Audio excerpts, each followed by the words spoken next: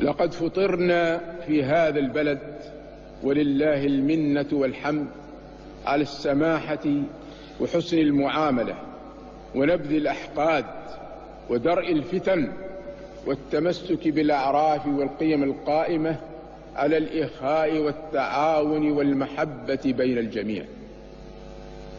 وإننا نؤكد على ضرورة أن تغرس هذه السجايا الحميدة والقيم الرفيعة في نفوس النشء منذ نعومة أظفارهم في البيت والمدرسة والمسجد والنادي وغيرها من محاضن التربية والتثقيف.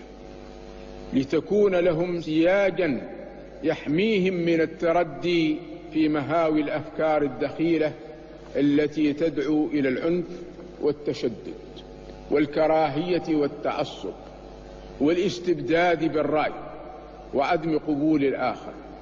وغيرها من الأفكار والآراء المتطرفة التي تؤدي إلى تمزيق المجتمع واستنزاف قواه الحيوية وإيراده موارد الهلاك والدمار والعياذ بالله.